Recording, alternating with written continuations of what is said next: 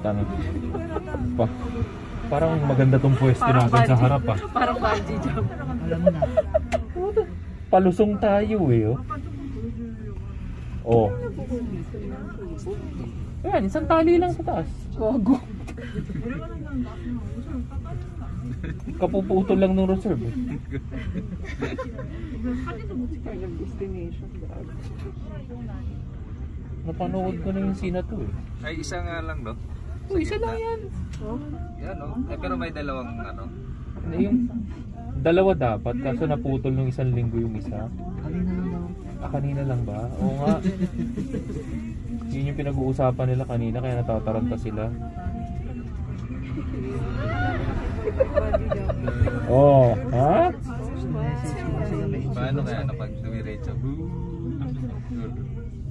Hindi ko na send yung kopya ng insurance natin ah. Pababa, no? Oo. Lalo na nandito ka sa harap.